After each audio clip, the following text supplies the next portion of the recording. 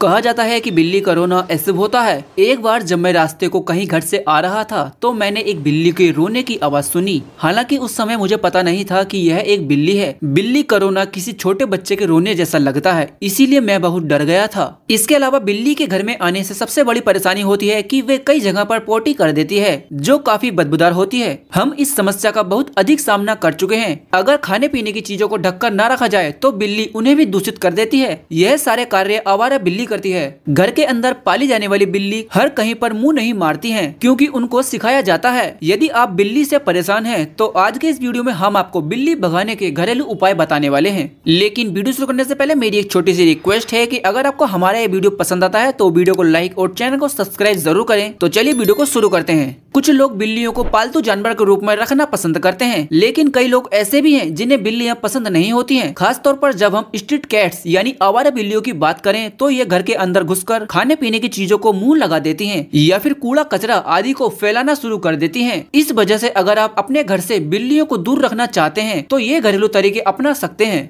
Number one, सिरका करेगा काम। अक्सर खाने में इस्तेमाल होने वाले सिरके का इस्तेमाल बिल्लियों को घर से भगाने के लिए भी किया जा सकता है। बस एक कटोरी में बराबर मात्रा में पानी डिशवॉशिंग लिक्विड और विनेगर मिलाएँ, फिर इस मिश्रण को एक स्प्रे बोतल में डालें। अब इस मिश्रण को उन जगह पर छिड़कें जहाँ से बिल्लियाँ घर के अंदर आती हैं। कुछ दिनों तक लगातार इस सॉल्यूशन का इस्तेमाल करते रहें। ऐसा करने से आपके घर के अंदर बिल्लियों को आना जाना ना के बराबर हो जाएगा। नंबर टू, बिल्लियाँ पानी को नापसंद करती हैं। बिल्ली को घर से भगाने के लिए पानी का इस्तेमाल किया जा सकता है। बस जब भी आप अपने घर के अंदर या बालकनी में बिल्ली देखें तो उसे भगाने के लिए डंडे की जगह पानी का इस्तेमाल करें। दरअसल बिल्लियों को पानी पसंद नहीं होता है, इसलिए उनके ऊपर पानी फेंकते हैं तो वो भाग जाती हैं। इतना ही नहीं, जब आपका घर या बगीचा गीला होता है, तब भी बिल्लियाँ घर के अंदर आने से डरती हैं नंबर थ्री तेज पत्ते की सुगंध भी है असरदार। सिरके की तरह तेज पत्ते की महक भी बहुत तीखी होती है। इस गंध का इंसानों पर कोई असर नहीं होता, लेकिन यह बिल्लियों को घर से दूर रखने के लिए काफ़ी है। इसके लिए कुछ तेज पत्तों को पीसकर घर के उन हिस्सों में बिखेर दे, जहाँ से बिल्लियाँ आती हैं। ऐसा करने से बिल्लियाँ घर के अंदर नहीं आएँगी। आप चाहे तो तेज पत्ते की जगह कोई और तेज महक वाली चीज़ भी इस्तेमाल कर सकते हैं।